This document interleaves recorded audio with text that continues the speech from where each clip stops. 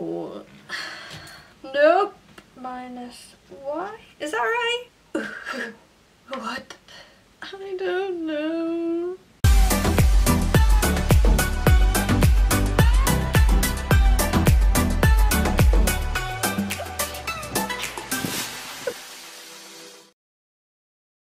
So today I'm gonna do something that I never, ever anticipated me doing. Did I say ever? I'm going to be resitting my GCSE maths paper from 2013. This is the exact paper, it is from November 2013. I sat this paper in November of year 11. I haven't done any maths since. I gave it up, I refused to resit it in the June in order to get an A star. I got an A in this paper originally and I just outright refused to resit it because I hated maths. It wasn't for me, it didn't, I wasn't, I didn't enjoy it and I just wanted it gone. And now for some reason it's back. I'm blaming all of this on Harry Surplus. Harry is a study tuber. He does mathsy videos, also some cooking videos. Got really good energy on camera so I would recommend checking his channel out. He's gonna mark this paper for me when it's done. I haven't looked back over this. Like, I haven't looked at it at all. I've just printed it out. It's in front of me, completely unseen. I haven't done any revision because why would I put myself through that? And also I think it would be funny for you if I don't have a clue what's going on. It's the non-calculator paper. It is this paper.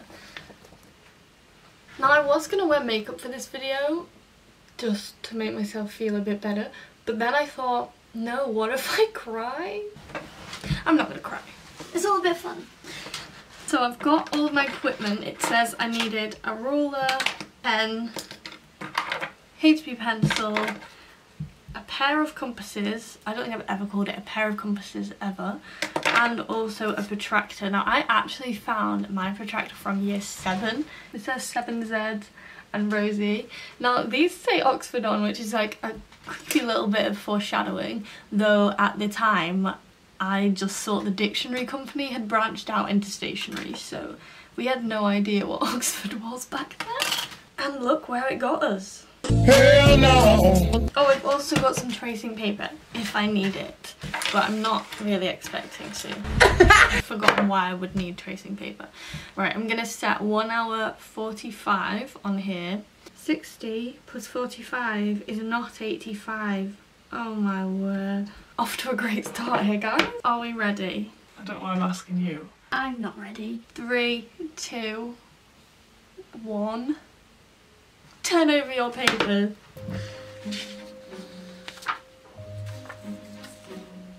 First question. We're off to a good start now.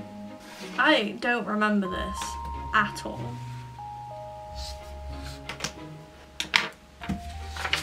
Here is a triangular prism. I do like a triangular prism. Oh, I've just spotted the algebra. I remember. It's all flooding back. I've got shape. By the vector minus 3, 2. Oh, Jesus. I'm honestly just making this up. Nope. Oh, oh you idiot. I can't trace it. Describe, I actually remember this question. Describe fully the single transformation that maps shape Q onto shape R. Wait, it's down vertical first. Vertical. No, because you go along the corridor before you go up the stairs. And a plane goes on the runway before it takes off. Which means... I've done this one wrong as well. If it was right the first time, I'm gonna be fuming. Oh god. Bye, Victor. I fully don't know what is going on here. Rita is going to make some cheeseburgers for her party. That's quite nice, isn't it? Look at the state of this. Disgusting! I'm not happy with that. The length of side AB is 3x minus 5. Can't it just be a number? Well, you add them up because it's perimeter. But do we know what x is? No. So how can we say how many centimetres it is? This is what I don't understand about maths. Oh, you just tie them together, don't you? Genuinely no idea if that's what I want you to do, but... Letters don't belong in maths. No, thank you. No, they don't. They ask you how you are, you just have to say that you're fine when you're not really fine. I don't know how to do it. Well, I've got plus five. Okay. Um, seven x's. We've got seven x's. No, we haven't. We've got five x's, four y's.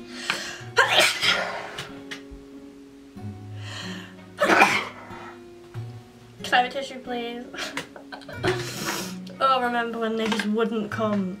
That's what she said. Honestly, I have no idea. No, that's not right. Oh, it's a quad. It's quadratic. These belong on the list of things that should be illegal. Three times? Do you minus y? Is that right? Oh, it. this is making me feel real smart. Apart from the fact that it's an exam designed for 15 year olds. Julia is investigating how much exercise people do in a week. She uses these two questions in a questionnaire. Which way round's greater than and less than with the crocodile claws? Mal. Cro oh. The crocodile eats the small. Questions labelled with an asterisk are ones where the quality of written communication will be assessed. I remember this. Oh, that's 12 times 10 is 120. So he needs 12. Ow. He needs 10 tins of paint. So he's buying 10 and there's a discount of 30% off the polish. What's 30% off 190? He ain't got enough money. Well that took ages. Got an hour left.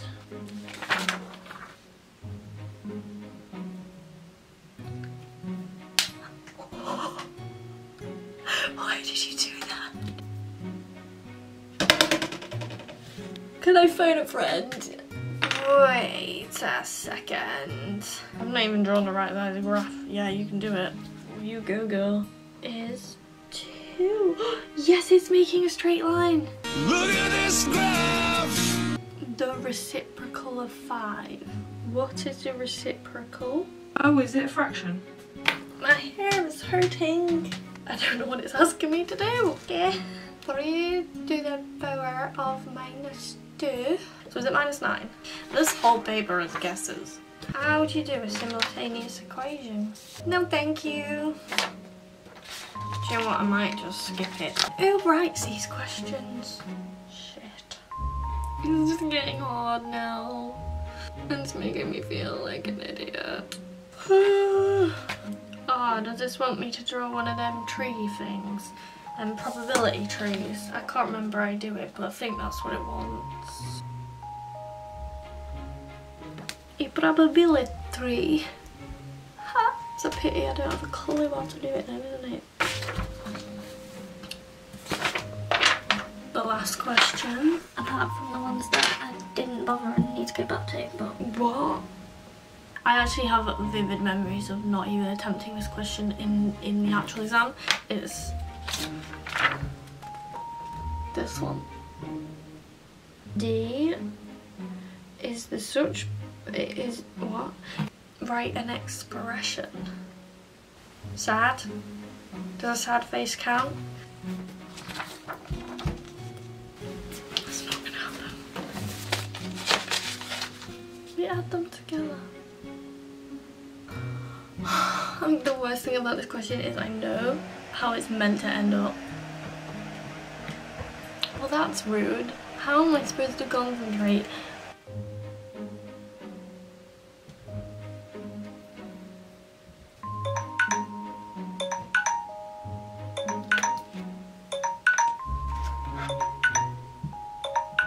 Well that was a disaster. I can't say I'm particularly optimistic about my grade on this paper, but I also didn't do quite as badly as I expected. I knew I was going to do terribly on the algebra because I didn't get it at the time and it took so much practice to be able to do it in my exam. And obviously I've not had any practice or even looked at how to do it since I had this exam, so that's not a surprise at all. I'm gonna scan all of this in now and send it to Harry Surplus, who's gonna mark it. He will be marking it in his video, so if you want to find out what I got on every single question, then head over to his channel. I will hand you over now to Harry, who's gonna reveal my score. Over to you, Harry. Okay, it's now time to add up all of Rosie's scores and see how well she did. I actually, when I was marking this, thinking this is going well, even I had to sort of think about how to do the question from not doing GCSEs since 2018, and Rosie's not done hers since 2013, so uh, I think she's done pretty well. I'll be with you when I've added it all up.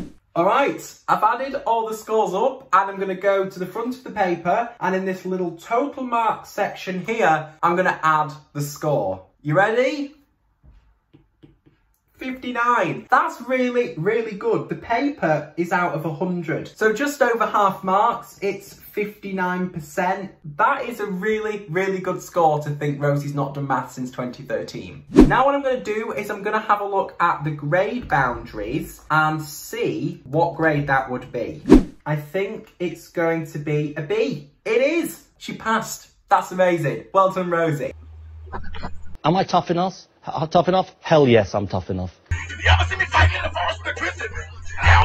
If you enjoyed this video, do give me a thumbs up. You could also give me a thumbs up if you want me to take any of my other GCSE or A-level exams because, you know, why would I not want to do that? Subscribe to my channel and to Harry Surplus channel if you don't already and I will see you in my next video. Bye!